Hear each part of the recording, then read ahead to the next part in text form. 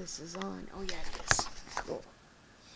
Buddy says happy Halloween. Although he's kind of not very happy about being a lobster this year.